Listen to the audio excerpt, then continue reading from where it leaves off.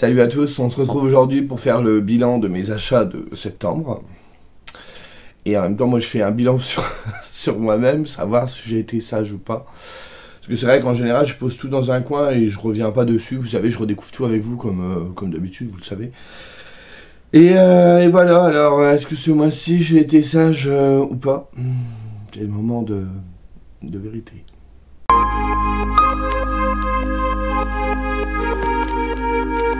Comme d'hab, je me répète, hein, mais je vais faire euh, comme je fais traditionnellement, les graphiques, les grands formats, les poches et l'occasion. Il y a de l'occasion ce mois-ci. J'ai réussi à être un petit peu raisonnable, je vous expliquerai pourquoi en cours de, de vidéo. Donc on y va. Alors, tout d'abord, ça y est, c'est fini. J'ai enfin le dernier tome de cette série, Banana Fish de Hakimi Yoshida chez Panini Manga. Euh, il reste juste un guidebook que je prendrai aussi parce que j'aime bien les guidebooks qui résument un peu les personnages, euh, le scénario et tout. En plus, il y a souvent des petits bonus, des interviews de bah, du, du mangaka et tout ça. J'aime bien ce truc-là. Mais ça y est, j'arrive enfin au bout. Je vais pouvoir enfin la découvrir. Enfin, je vous dis ça à chaque fois que je finis une série. Est-ce que je la lis? Non. Mais voilà, ça m'intéresse. J'espère que j'aimerais. Je dis ça une fois que j'ai acheté les 10 tomes. Euh, un petit financement participatif. euh, chez Black Box Édition pour une petite série de deux de mangas horrifiques et qui ouvre également une nouvelle collection dans la maison d'édition. Je ne sais plus c'est quoi le nom de la collection. Et comme ça on est on est on est vu. Bah c'est bizarre, c'est marqué série en 4 tomes. La collection Hurlement. Alors écoutez, je ne comprends pas, je n'ai que deux tomes, il proposait que deux tomes à- pour cette euh, campagne et c'est marqué derrière série en 4 tomes. Donc je sais pas. Bah, j'irai demander, je sais qu'il y a la copine euh, Stéphanie qui l'a faite aussi, donc j'irai lui demander au pire. Mais franchement, j'ai hâte. En plus, c'est un petit peu vintage, et moi, perso, les mangas horrifiques vintage, j'aime bien, vous le savez. Donc ici, on est sur les contes noirs de Norua Michiru. Regardez cette, euh, ces belles couvertures. Et alors, les dos, les dos sont sublimissimes. Je les trouve euh, canon, de chez Canon. Donc ce sera peut-être lu ce mois-ci, comme c'est le Scary Spooky Challenge. C'est un peu l'excuse, hein, c'est juste que c'est Halloween et que voilà. Certes, vintage, mais pas trop trop moche. Pas trop moche, c'est pas ce que je veux dire, mais euh, que moi j'apprécie. Et on a même une petite préface de Junji Ito qui se trouve ici.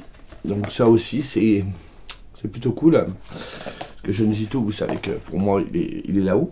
Euh, le tome 10 de l'Atelier des Sorciers. Alors cette série-là, je l'ai arrêtée il y a un moment de la lire parce qu'en fait, ils sortent au compte-goutte. On, est, euh, on doit être euh, cul à avec euh, la parution japonaise. Mais voilà, c'est pour ceux qui veulent découvrir un manga un petit peu, avec un dessin un petit peu à la Ghibli, tout ça, c'est vraiment très très joli. hein. La couverture est sublime. Et franchement, le manga est sublime. Donc c'est chez Pika Édition, c'est de Kamome Shirahama. Le numéro 6 de Keiju, numéro 8 de Naoya Matsumoto. Donc faudrait que je m'y remette. J'avais lu, je crois que c'est les 3 ou 4 premiers tomes au mois d'avril, pendant le mois de la SF. Et j'ai pas lu la suite, faudrait que je m'y remette. Et le truc c'est qu'en fait j'oublie très vite l'histoire et quand je m'en remets dedans en fait je sais plus qui est qui, qui fait quoi. Donc j'aime bien que toute la série soit sortie mais j'ai toujours peur comme c'est des séries un petit peu euh, qui marchent et c'est du shonen un peu classique eh ben, euh, ça a tendance à durer. Donc nous verrons bien. C'est chez Kazé. Le tome 7 de la Perfect Edition de Beck de Harold Sakuchi. Je vous ai déjà montré plein de fois. Ici, c'est un manga de musique. J'avais lu le premier tome, pareil, je me rappelle plus, donc il faudra que je m'y remette. Celui-là, qui est mon chouchou, je l'ai pas lu. D'ailleurs, je l'ai pas lu. Il faudra que je le lise parce que franchement, je kiffe. Et euh, la suite est en parution, j'ai vu ça. Donc on est sur Coq de baston de Shu Sakuratani. Euh, chez Mangetsu, donc c'est le tome 3, les superbes couvertures brillantes de chez Mangetsu. Sur un manga euh, qui revisite un peu le shonen de façon parodique, mais c'est très drôle, avec le fameux, euh, le fameux coq Keiji. Et c'est très très euh, très très bien, très très cool. Et les dessins sont topissimes. Pareil, encore un manga chouchou. Je ne l'ai pas lu non plus, donc il va falloir. je pense que voilà, en vous les montrant, je vais les mettre de côté et me les faire très prochainement. C'est Léviathan, le tome 2. Vous savez, je vous avais parlé tellement du tome 1 que j'avais adoré de Shiro Kuroi. Donc c'est chez Kiyun. Et euh, c'est une exclusivité Kiyun d'un manga, euh, d'un manga japonais. Et euh, bah, j'avais adoré le, premier tome, je vous en avais parlé. J'ai très hâte de lire cette suite. Et je crois que c'est en trois tomes, me semble-t-il. En plus, vous avez vu, vous avez la petite tranche peinte. Et il est plus grand qu'un manga classique. Le tome 2 de Planète de Makoto Yukimura, donc celui-là c'était sur les conseils de la copine Stéphanie, donc Luli. Donc pareil, ce sera en trois tomes. J'attends que le troisième sorte. Ici, on est chez Panini Manga, donc je vous ai dit de qui c'était. Donc voilà, j'attends le tome 3 pour pouvoir m'y mettre. Je vais certainement, je pense, le lire avec la copine Margot. On verra ça en temps et en heure quand le tome 3 sera sorti. Et ensuite, donc pour les mangas, c'est terminé. Et euh, exceptionnellement, ce mois-ci, il y a des comics, parce qu'il y a une petite série chez DC qui est sortie. Euh, alors, c'est des espèces de comics, vous savez, euh, poche, mais versions économiques qui sont moins chères. Donc, il y en avait, je crois, à 5,90 et certains à 9,90, si je ne vous dis pas de bêtises. Ouais, c'est ça. Donc, ils appellent ça la collection Urban Comics Nomade. Donc je me suis laissé euh, tenter par pas mal de titres, mais franchement ça vaut vraiment le coup. La qualité elle est quand même là, même si je suis loin d'être un expert. Et, euh, voilà. Donc j'ai d'abord pris Fable. Moi je crois que c'est euh, Margot qui m'en avait parlé. Donc le tome 1 et le tome 2. Je crois que c'est une série en 10 tomes. Et ici, les fables, ils trouvent refuge dans notre monde et établissent leur communauté au cœur même de New York. Cependant, aux antipodes du conte de fées, Rose Rouge, la sœur de Blanche-Neige, aurait été assassinée et c'est à Bigby, shérif de Fableville et grand méchant loup repenti de résoudre l'affaire. Euh, c'est écrit plus inspiré d'Andersen et des frères Grimm que de Walt Disney, Bill Willingham a imaginé avec Fable une saga qui tient ses lecteurs en haleine durant plus de dix ans, mêlant bataille épique, destin tragique et relations intimes en une fresque digne des plus grands classiques de la bande dessinée internationale. Découvrez le quotidien de Blanche-Neige, du grand méchant loup, des trois petits cochons, de Pinocchio et de toutes les autres créatures fabuleuses nées du folklore mondial, désormais contraintes de vivre ensemble. Sélectionné au festival d'Angoulême et récompensé par 15 Heiner Awards, je sais pas ce que c'est, la plus haute distinction de la bande dessinée américaine, merci, le livre me répond. Fable vous est aujourd'hui proposé dans une édition poche en 10 volumes. Donc je pense que ça va être assez régulier qu'ils vont en ressortir, donc j'ai déjà pris les deux premiers, je trouve ces couvertures incroyables. Franchement, euh, elles sont hyper jolies. Le dessin dedans, je ne sais plus. Ah, c'est classique, on va dire sur quelque chose d'assez classique. Alors attendez. Euh, voilà. Mais après, il n'y a pas que le dessin, hein. c'est ce que je dis à chaque fois. On dit que c'est le dessin qui nous attire, mais voilà, je pense que la, série a un certain succès, une certaine renommée. Bon, moi je connais rien en comics, mais voilà, je fais confiance à Margot, si elle le dit, c'est que c'est vrai. Et je crois que Dorian m'en avait parlé également. J'ai pris Flashpoint, donc euh, de Jeff Jones et Andy Kubert. On revient sur un élément majeur dans l'histoire de DC Comics. On ne connaît pas beaucoup plus, mais pareil, moi Flash j'aime bien, je l'ai vu, j'ai pris. J'ai pris Watchmen, donc je l'ai dans ma depuis très longtemps, et là ils l'ont ressorti euh, donc dans ce format-là. Donc j'ai également le film, mais je veux absolument lire le comics avant de voir le film, qui est, il paraît, euh, très fidèle et très bien. Donc ça va être une histoire sur des super-héros à la retraite, si je comprends bien. Et le dernier, euh, bah, parce qu'en fait, vous savez, il y a aussi une collection qui est sortie de comics, il y a les Batman. Et j'ai acheté, je ne sais plus, attendez le nom, Curse of the White Knight que je vous ai montré quelques temps avant. Et c'était un tome 2. Et ça va, ils ont sorti le tome 1. Bon, c'est pas le même format, mais c'est pas grave. C'est Batman White Knight de Sean Murphy où euh, on inverse un peu les rôles. On lui dit lors d'un combat particulièrement violent contre un Batman devenu fou furieux, le Joker ingère un traitement qui le guérit totalement de sa psychose. Devenu saint d'esprit, il décide de se présenter au poste de maire de Gotham et de guérir la cité de son fléau, Batman. Donc on inverse un peu les rôles, ça m'a l'air bien sympatoche. Donc Ensuite, concernant les grands formats. J'ai tout d'abord passé une commande sur les trois sorties qu'il y a eu au Chat Noir. Bon, depuis, il y en a eu une autre qui m'intéresse aussi beaucoup. Le chat noir, c'est une maison d'édition que j'aime beaucoup. Mais j'ai pris ces trois-là parce que je trouve que pour Halloween, c'est parfait. Est-ce que je les lirai pour Halloween? On ne répondra pas à cette question. Donc il y a d'abord le Respire de Sinclair Agi. Vous savez, je vous en avais parlé euh, quand j'avais fait exceptionnellement une petite vidéo de sortie au mois d'août. Donc là, on est sur euh, une relation un peu bizarre entre un élève et son prof parce que le prof euh, a l'air de pas respirer. Donc ça a l'air d'être assez troublant. Ici, une rivière furieuse, on sera avec des sorcières. On nous dit thriller fantastique, sorcière, romance FF. Couverture de Minahem qui est quand même très jolie. Le coup du petit vernis sélectif, euh, merci bien, mais il est très beau. Donc euh, là, il y a des filles qui ont disparu dans les bois. Et on retrouve une voiture avec une jeune fille qui n'est plus dedans. Et sa sœur décide de mener l'enquête. Et elle va voir une sorcière qui s'appelle Della et on va essayer de trouver euh, des réponses euh, à tout ce qui s'est passé. Donc c'est de Erika Waters et de Georgia Bowers, Sombre Tilly. Ici on suit une sorcière qui a décidé de faire ce qu'elle veut, elle s'appelle Mathilda, et elle va faire euh, le bien et le pas bien au niveau des pouvoirs magiques. Et on sait très bien que dans la magie, quand on fait des choses pas bien, ça revient en retour trois fois plus puissant. Et elle va commencer à bah, avoir des trucs un peu bizarres parce qu'elle en fait qu'à sa tête. Celui-ci qu'on a vu absolument passer partout, que je veux lire aussi au mois d'octobre. Vous voyez, hein, j'ai déjà fait une vidéo reco la semaine dernière, mais là c'est pareil, il y a plein de titres qui me donnent envie pour le mois d'octobre et qui me font acheter tout ça. C'est Hidden Pictures de Jason Rekulak, donc chez Brajlon. Je l'ai vu passer, j'ai vu beaucoup de bons avis. Et j'ai également la copine euh, Magali, Books of Zatanna, qui l'a lu et qui a beaucoup aimé. Et du coup, je me fie à Magali parce que Magali, elle est comme moi, elle est assez euh, sélective dans ses lectures. Elle aime pas tout. Alors, je dis pas que c'est un défaut, attention, elle est, comme moi, elle est chiante. On n'aime rien. Et du coup, euh, elle a beaucoup aimé, elle l'a lu en VO et du coup, j'ai très envie de le, de voir ce que ça peut donner. Et celui-ci que j'avais dit que j'achèterais pas tout de suite tant que je n'aurais pas lu euh, Ordo du même auteur. Donc c'est de Anthony Combrexel aux éditions 404. C'est seul une euh, seul, une armée à moi seul, pardon. Euh, la couverture, on en parle. Et en fait, je l'ai vu en magasin et j'ai pas pu résister. Là où tous se perdent, nous nous retrouvons. Donc on suit Cléo Constanza qui a 19 ans. Elle est poursuivie euh, par un tueur fantomatique et elle est sauvée in extremis par trois personnes, une fillette de 10 ans, une quadra taciturne et une vieille femme malvoyante. Et euh, elle se rend compte que ces trois personnes pourraient être ses sosies. Donc euh, c'est assez énigmatique, j'ai pas tout lu, c'est marqué l'existence entière de Cléo va être bouleversée, mais au lieu de fuir, elle vient décider à prendre en main son destin. Un voyage épique, une série de montagnes russes et un ascenseur émotionnel, une folle odyssée au bout du monde et au bout d'elle-même. Voilà, m'en faut pas plus, ça fait très série télé, ça me hype de ouf, on verra bien. Et du coup, j'avais dit que je lirais Ordo avant pour découvrir la plume de Anthony, c'est pas le cas, c'est pas grave, je le lirai quand même. Dans un autre registre, ici on est sur un témoignage que j'avais montré également dans ma vidéo des sorties.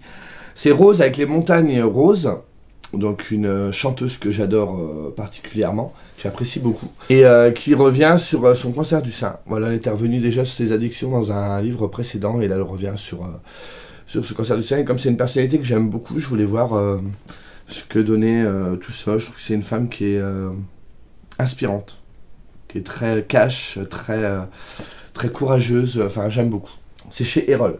Euh, celui-ci qu'on a vu aussi passer et que moi je voulais absolument, bah, comme tout ce qui est ici d'ailleurs, chez ActuSF, l'héritage de l'esprit roi de Claire Crost. Euh, la couverture veut tout dire, hein, sur un, sur un, univers japonisant. Donc avec l'héritage de l'esprit roi, Claire Crost revient dans un univers japonisant de prédilection qu'elle avait déjà exploré dans les neiges de l'éternel que je n'ai pas lu. Avec la sensibilité qu'on lui connaît, elle propose une relecture personnelle des liens qui unissent humain et esprit. Pareil, celui-là a été euh, annoncé en grande pompe, qui était aussi dans la vidéo euh, des sorties, hein, je vous l'avais dit. C'est euh, CS Pacat avec Dark Rise chez Big Bang. Donc CS Pacat, c'est celle qui a écrit euh, Prince Captif. Donc c'est un tome main. Euh, je sais pas quand il y aura de tomes, c'est peut-être deux, trois, j'en sais rien. Mais voilà, regardez la beauté. La beauté. Est-ce qu'on en parle de cette carte absolument magnifique Je ne pense pas. Je ne pense pas que je lirai maintenant, parce que j'ai envie de bah, d'avoir la suite sous la main. Vous savez que j'ai euh, passoire à la place de la mémoire et que je vais vite oublier. Donc, euh, on nous dit derrière, si beau et délicieusement sombre, c'est J. Christophe, l'auteur de Nevernight, qui dit ça. Une fantaisie terriblement efficace, je ne pouvais tout simplement pas reposer mon livre, Vie et donc l'autrice de La vie invisible d'Adi Larue. Euh, une nouvelle ère de ténèbres s'annonce. Donc on est sur le bien et le mal, je sais plus trop quoi exactement, j'ai pas trop envie de le ressavoir. Bon, pire, je vous en avais parlé dans l'autre vidéo. Donc euh, voilà. Un petit hardback, tout le monde se met en hardback, ça y est. Celui-ci, c'est de la faute de Magali, et ça c'est vrai. Parce qu'elle est en train de le lire. Elle l'a montré en story. Donc forcément, ça m'a subjugué. Je suis allé la voir et elle m'a dit Ah ben j'ai trouvé à moitié prix sur Amazon. Donc j'y suis allé et je l'ai pris. C'est le labyrinthe de Pan de Guillermo del Toro et de Cornelia Funke. Ou Funke, je sais pas comment ça se dit. Voilà, moi j'ai vu le film que j'ai absolument adoré, qui est absolument sublime.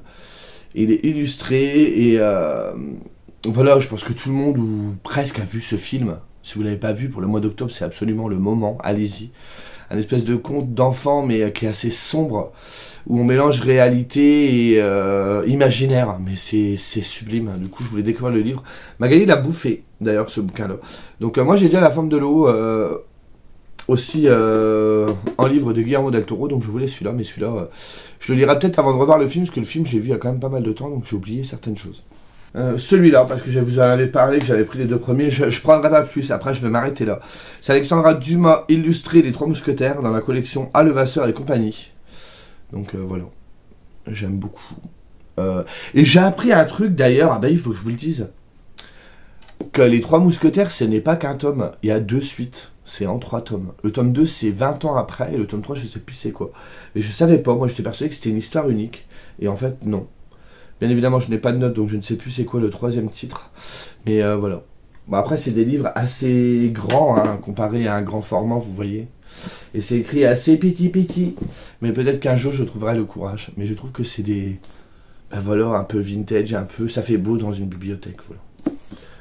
Donc à défaut de lire maintenant, il décore ma bibliothèque. C'est vrai que j'ai rien pour la décorer, la bibliothèque. Ensuite, les poches. Alors, les poches, les poches. Il y a celui-ci déjà, Bleach euh, Can Feel Your Own World de Tite Kubo, écrit par Ryogo Narita. Donc, il s'inspire du coup de l'univers de Tite Kubo qui a créé euh, Bleach. Cette histoire prend place juste après la fin du manga.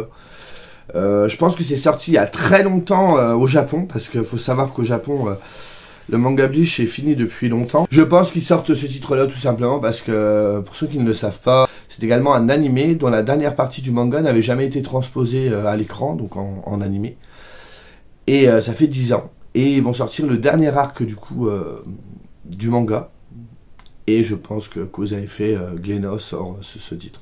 J'aimerais bien revoir peut-être un peu avant, vous avez un petit poster sur le, le héros en question qui sera dans ce manga. Et j'ai peur de, m'y perdre un peu. Donc ils nous ont donné une petite, un petit plan des, personnages pour pas qu'on oublie. Mais moi j'ai Bleach il y a quand même pas mal de temps. Euh. Il y a énormément de personnages et je me souviens plus de tous les noms. Donc je verrai. Ah ben il y a des petites, il y a des petites illustrations. Enfin j'en ai vu une. Il y a des petites illustrations à l'intérieur plutôt sympathiques. Au crayonné. Donc je sais pas, ah, peut-être que je me lance à voir, parce que je sais que voilà, Bleach, moi j'avais beaucoup aimé, mais euh, au fur et à mesure des arcs, euh, donc des arcs pour ceux qui savent pas, ça correspond plus ou moins à des saisons dans une série. Et au fur et à mesure des arcs, ben, j'étais de moins en moins euh, captivé. C'était de moins en moins bien, je trouve, au niveau scénario. Après, le dessin de Tite Kubo est absolument sublime, bah, vous le voyez là, hein, c'est lui qui dessine. Franchement, voilà, au niveau du dessin, il était top, mais je pense que voilà, il aurait dû prendre un scénariste parce que ça partait un petit peu dans tous les sens. Et la fin était un petit peu avortée c'est précipité et du coup euh, du coup voilà donc je, je, le prends quand même parce que je reste quand même fan malgré tout que je trouve pas la, série qualitative sur la durée euh, vous savez que j'ai eu un coup de cœur pour euh, tout le bleu du ciel. Du coup, bêtement, alors parce que c'est là, faut être con. Hein. Je suis bête parce qu'en fait, j'aurais pu les prendre d'occasion. Je sais pas pourquoi. Je suis allé en magasin faire des courses. Voyez, je vous raconte ma vie. Et je les ai vus en rayon. Et j'ai dit, faut que je les prenne. Mais j'ai après, j'ai réfléchi. Je pourquoi tu les as pas pris en occasion, Laurent? Ça de racheter du neuf. Bref, vous savez, j'ai agi, j'ai réfléchi après. Donc j'ai pris euh, Je revenais des autres de Melissa d'Acosta et également Les lendemains, donc au livre de poche. Et du coup, voilà. Euh, tout le monde me dit que Melissa d'Acosta, c'est génial. Attendez, je vais enlever ce bandeau qui est absolument hideux. Et du coup, j'ai vraiment euh, hâte parce que je ne vois pas de gens qui me disent que c'est pas bien, quoi. Donc j'ai vraiment envie. Je crois que Je revenais des autres, il y a une suite. Hein. Voilà. C'est le tome 1 de la série et elle a sorti il n'y a pas longtemps La douleur fantôme. Il y a un autre titre d'elle qui va sortir prochainement, je ne sais plus le titre, mais j'ai vu, j'ai entendu parler de ça. Mais ce sera d'un genre complètement différent. Donc voilà. Donc je me suis procuré ces deux-là. Petite lecture qui, je pense, passeront très bien. La queen de la romance pour moi, Brittany Cherry, avec la dernière sortie poche, La force de renaître. Donc voilà, Brittany Cherry, je réfléchis pas, je prends d'office. Même si j'étais un petit peu déçu par le dernier titre que j'ai lu, mais dès qu'il sort en poche, voilà. Euh, celui-ci, alors ça, je suis tombé dessus par hasard. Il était dans ma wishlist en grand format et à chaque fois, je me disais, faut que je l'achète, faut que je l'achète, faut que je l'achète. Je ne le faisais pas. Et quand j'ai vu qu'il était en poche, j'ai sauté dessus. C'est Armédia, une histoire du cinéma français. Et c'est écrit par euh, Dominique Besnéard et Nejma van Egmond. Dominique Besnéard, je pense que vous le connaissez, c'est le monsieur, vous savez, qui a un petit cheveu sur la langue et qui a été euh, l'agent, entre autres, de Sophie Marceau. On le voit beaucoup à la télé. C'est un de ceux qui a fondé la série 10% que j'adore. J'ai adoré cette série en 4 saisons, qui est sur Netflix. Si vous ne l'avez pas vue, allez-y, c'est un bijou cette série. J'ai trouvé ça absolument génialissime comme série. Et du coup, voilà, ils, reviennent avec euh, ce qui s'est vraiment passé dans la vraie agence qui a inspiré la série. Et moi, ça m'intéressait beaucoup. Donc euh, voilà. Et au final, en poche, ça va être, euh, ce sera suffisant. C'est très bien, ça a d'acheter ça en grand format. Celui-ci, C'est Lully qui l'avait présenté lors du Havre List, qui est sorti en poche de Emily Kerbalek, Quitter les mondes d'automne, qui est sorti à la base chez Albin Michel Imaginaire. Je ne sais plus exactement ce qu'a ce dit Lully pour, pour me le faire acheter. Elle a parlé d'univers japonisant, il y a toute une thématique autour de la lecture, de l'écriture qui est un peu bannie dans ce monde. Et euh, bah, voilà, elle m'avait happé. Elle m'avait, encore une fois, Stéphanie fait des siennes sur Havre List. Méfiez-vous, c'est la pire de tous. si elle me elle va dire je regarde plus, je, me fais encore. Euh, mais j'aime bien, j'aime bien l'embêter, Stéphane. Euh, celui-ci, parce qu'on doit le lire avec euh, Magali, donc Books of Zatana, c'est Généalogie du mal de Jeong Yu Jeong, chez Piquet Poche. C'est l'une de vous, il y a un petit moment qui me l'avait conseillé, qui l'avait lu, qui avait adoré. Avec Magali, on a beaucoup aimé les bébés de la consigne automatique, dont je vous ai parlé. Donc euh, voilà, on a envie de se repencher un petit peu sur un roman euh, asiatique. Et du coup, ici, euh, c'est un jeune de 26 ans, Eugene, qui se réveille un matin dans l'odeur du sang. Et c'était un gamin qui était modèle, qui se pliait à toutes les règles d'une mère abusive et angoissée. Et qu'est-ce qui s'est passé pendant cette fameuse nuit? Et pour trouver la clé qui déverrouille sa mémoire, Eugene va devoir remonter le temps. Des années de secret, de silence, d'une vie contrôlée dans ses moindres détails jusqu'à ce que tout bascule. Un thriller dérangeant et obsédant d'une exceptionnelle acuité psychologique. J'adore la couverture. Donc nous verrons, on découvrira ça avec euh, Magali prochainement. Et voilà, et cet achat-là qui... Je l'ai déjà dans ma bibliothèque, dans un grand format. Bon, c'est du papier Bible. Je ne suis jamais allé au bout de ma lecture, honte à moi. Et euh, j'avais vu ces couvertures que j'avais trouvées euh, sublimes dans une nouvelle édition. Et là, il vient de sortir un coffret, parce qu'il y a la série Les Anneaux du Pouvoir, donc vous vous dites de quoi je parle qui vient de sortir. Donc ils l'ont sorti sous forme de coffret et là je vais plus résister. C'est le Seigneur des Anneaux de J.R. Tolkien. Hein. Je vais pas vous en reparler, hein. je pense que vous connaissez. Mais ces couvertures sont tellement incroyables. Avec la nouvelle traduction. Donc j'ai envie de voir ce que ça donne. Donc nous avons les trois petits bébés. Enfin, pas si petit que ça. Voilà, moi les Folios Junior, euh, je trouve qu'au niveau euh, confort de lecture, c'est génialissime. Donc quand je l'ai vu, je l'ai pris en plus, euh, où je l'ai pris dans, dans, la librairie où je l'ai pris, j'avais une petite réduction, donc j'ai gagné un petit peu de sous dessus. Donc c'est très très bien. Et pour finir, nous allons passer aux achats euh, d'occasion qui ne m'ont rien coûté parce que j'avais une petite cagnotte sur Vinted. Mais bon, c'est pas le souci de, que ça te coûte pas de l'argent, Laurent, c'est le fait que tu n'as plus de place. Je n'ai plus de place. Bref, nous allons pas encore épiloguer. Tout d'abord, des achats qui m'ont été conseillés par Claudine. Claudine, elle m'aide pas non plus, hein, franchement. Donc il y a deux livres qu'elle m'avait euh, conseillé. Tout d'abord, Ma douce Audrina de Virginia C. Andrews euh, dans la collection euh, Épouvante chez J'ai lu. Je me dis que pour Halloween, euh, enfin je me dis pour Halloween, mais Laurent, Halloween ne dure que 31 jours. Hein. Halloween, le mois d'octobre. Je vais pas lire tout ça, en ce, petite spoiler alerte. Au mois de septembre, j'ai eu un rythme de lecture caca-boudin, encore une fois, oui, encore une fois. Je n'ai eu que des mauvaises lectures, donc au fur et à mesure des jours, je lisais de moins en moins. Et le bilan n'est pas, franchement, Franchement, formidable. Mais bon, donc euh, voilà. Euh, je sais pas de quoi ça parle, j'ai pas lu le résumé. La couverture est, géniale. Donc un tout petit livre, hein, il fait 370 euh, pages, tout petit, il fait quand même 400 pages, j'en croirais pas, mais... Bref, donc il y a celui-ci. Et en fait, j'ai pris un lot, vous savez, sur Vinted, quand vous en prenez plusieurs, ça vous revient à limite moins cher ou en frais de port. Donc j'ai pris celui-ci qui était également La Nuit des Spectres de Stephen Lowes, encore dans la collection Épouvante, avec des marionnettes. On nous dit derrière, parce que c'est vrai que putain, je mon délivre, je ne peux pas résumer. Elle souleva dans ses mains la créature qui venait de naître et hurla. Quelque chose d'indéfinissable s'insinuait dans sa chair, dans son cerveau. Une force vivante, terrifiante qui émanait de la chose et cette force courait dans son esprit, fouillait dans ses entrailles et puisait en elle ce dont elle avait besoin pour vivre. La gorgone était revenue au monde, faible encore. Pour renaître totalement, elle devait tuer et se nourrir des pères qui l'avaient engendrée. Ils étaient six, six amis, jeunes, beaux et insouciants. Et pour avoir aimé la même jeune fille, ils allaient connaître l'horreur, que la gorgone allait traquer, l'un après l'autre, impitoyablement. Donc on serait sur un espèce de slasher. Je je sais pas le rapport avec la marionnette qui est sur le truc. Ah, j'ai pas compris. Bref. Donc voilà. Et euh, cette commande-là que j'ai faite, une série aussi que m'a conseillé euh, Claudine, on a déjà lu le premier tome euh, ce mois-ci, du moins le mois dernier, au mois de septembre. C'est la trilogie. Alors 5 tomes, c'est combien? 4 tomes, c'est tétralogie, 5 tomes, c'est pentalogie Non? Bref. 5 tomes. De Virginia Sandrews aussi, c'est une saga Aurore. Vous avez le premier tome qui est Aurore. Le deuxième qui est Les Secrets de l'Aube. Le troisième, L'enfant du crépuscule. Le quatrième, Les démons de la nuit. Et le cinquième, Avant l'aurore. Alors, du coup, concernant cet achat, j'ai décidé du coup de faire une petite LC avec Claudine. Malicia nous a rejoint et on a lu ce tome 1. Je ressors très très très mitigé. Donc euh, je tenterai le tome 2, si ça me plaît pas, bah, je revendrai et c'est parti. Je vous expliquerai ça prochainement dans un bilan. Mais je suis très mitigé sur ce tome. On en reparlera. Euh, j'ai trouvé, parce que La Vengeance en Prada, j'avais lu euh, Le Diable s'habille en Prada il y a très longtemps avant de voir le film. Le film est génial, franchement, il est vraiment très bien. Le livre est encore mieux. Et euh, il y avait eu des avis mitigés sur cette suite, mais je me suis dit pourquoi pas la lire? Elle est sortie il y a un moment. Hein. Euh, c'est sorti à combien de temps? Si c'est les éditions françaises, c'est sorti en 2013. Donc Laurent la découvre 10 ans après. Mais je l'avais lu, ouais, au moment, je crois que la sortie de celui-ci, mais j'avais beaucoup aimé le Diable s'habille en Prada. Là, on verra bien ce que cela peut donner. La Vengeance en Prada, le retour du diable, de Lorraine Weisberger. On verra bien. Et autre petit achat, j'y allais à la base pour acheter ça. C'est euh, Adeline de la chaîne Bullish Bookies qui l'avait lu et qui aimait beaucoup. C'est la possédée MM euh, Faraday. Encore la collection épouvante. Et euh, du coup, on était sur une histoire de, bah, de possession. La possédée, la possession, bah oui, non. Et voilà, je sais pas, Adeline avait beaucoup aimé, j'étais curieux. Belle petite couverture d'ailleurs.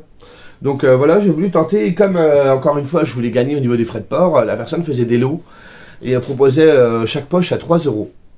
Donc j'en ai profité pour prendre des livres que j'avais dans ma wish, pas tous, mais euh, Bird Box de Josh Malerman que je voulais absolument euh, découvrir. J'ai pas vu le film non plus parce que j'ai pas lu le livre. Donc voilà. Je, je, reviens pas dessus, je pense que vous connaissez plus ou moins. Celui-ci, je sais pas, le résumé me tentait beaucoup, donc j'ai dit on va tenter déjà de l'acheter, hein, j'allais dire tenter de le lire, on verra bien. C'est un beau bébé de presque 800 pages. C'est Les Racines du Mal de Maurice G. Dantec, chez Folio Policier. Donc on suit un psychopathe, hein, je crois. Voilà, Andreas Schatzman est un tueur, un paranoïaque qui croit au complot généralisé, qui s'est rasé la tête pour surveiller les os de son crâne qui changeait de forme. Un schizophrène sujet aux pires hallucinations, un fou dangereux enfermé dans un monde, une énigme. Une autre chasse à l'homme commence, effroyable, avec au bout de la traque une vérité à l'image de notre temps. Il y a eu un grand prix de l'imaginaire en 96, je ne sais pas, mais le résumé m'a envoyé du lourd. Donc, euh, donc voilà. Euh, celui-ci, la couverture est très très bizarre. C'est Le Diable Vauvert. Peut-être une collection poche. Je savais pas qu'ils avaient une collection poche. Euh, c'est 10 000 litres d'horreur pure. Un roman illustré par Blanquet. Donc il était dedans. Je l'ai pris de Thomas Gunzig. Je sais pas ce que ça vaut. J'ai vu qu'il y avait des petites images. Ouais, c'est spécial. Bon, on va cacher le bas de l'image parce que on voit certaines choses, mais euh, je sais pas. J'ai vu les, avis qui n'étaient pas forcément positifs. Je vais me faire mon avis, on verra bien. Hein. Euh, ici, on est sur une euh, la pure, dans la plus parfaite tradition des slashers. On verra bien. Je l'ai vu, je l'ai pris aussi. Hein, je vous dis. Donc j'étais parti à faire un lot. Et le dernier, les mémoires d'un chat de Hiro Arikawa. Roman japonais, hein, Laurent, ça y est, il est au taquet, il est parti pour en lire plus. Et je sais pas, on verra bien avec une histoire de show. On l'a vu, je l'ai vu passer euh, dernièrement pas mal. Euh, j'ai vu de bons retours. Euh, on verra. J'ai envie de, tenter. J'aime beaucoup la couverture. Je suis pas spécialement fan des shows, mais bon. Et voilà. Voilà, on a terminé. je trouve que c'est encore beaucoup trop. vous, je ne sais pas. Je vous laisserai à votre propre appréciation ce que vous en pensez. Et, et en sachant, alors sur le coup, j'allais vous dire un truc. Ah, j'ai un petit peu mal au dos, c'est pour ça que je me tiens. Euh, je sais pas si. Euh, sur le coup, je me dis, j'étais fier de moi, j'ai pas acheté beaucoup. Et en fait, quand j'ai mis les livres devant moi, je fais. Pas acheté beaucoup. Le pire, c'est que ça fait. Euh, 15 derniers jours, j'ai presque rien acheté, donc j'ai un peu abusé encore de ouf. Et il n'y a pas tout. Il n'y a pas tout parce que j'ai attendu des réceptions. Qui, euh, il y en a une, je dois aller la chercher. Il y en a une autre que je vais recevoir incessamment sous peu, je ne sais pas quand. Donc je n'ai pas tout mis. Vous aurez le reste au mois de novembre. C'est dommage parce que dedans, il y avait un titre horrifique qui aurait pu vous plaire. Euh, mais bon, c'est pas grave, je vous montrerai au mois de novembre. Je pense qu'entre la reco de la semaine dernière, euh, ce que je vous, je vous ai montré sur mes achats d'aujourd'hui, enfin de ce mois-ci, mois dernier, et euh, bah, vos propres lectures à vous, je pense qu'il y a de quoi faire. Hein. Il n'y a pas que moi que je me pose là avec mes recos. Il y en a d'autres qui vont faire des recommandations pour Halloween. Mais bref, voilà, voilà pour, pour tout ça. Euh, comme d'habitude, hein, on discute en commentaire. Vous me dites s'il y a des livres vous, qui vous tentent, que vous avez lu. Voilà, vous connaissez la chanson. Je vous attends pour en discuter. Il n'y a pas de problème. Ben sur ce, moi je vous laisse et euh, je reviendrai euh, très vite avec bilan lecture. Là, là, il y a de quoi faire. Bilan lecture, là, j'en ai à, vous à vous montrer un peu à discuter avec vous sur certaines de mes lectures. Ça ne va pas être triste. Voilà, sur ce, moi je vous laisse. Salut.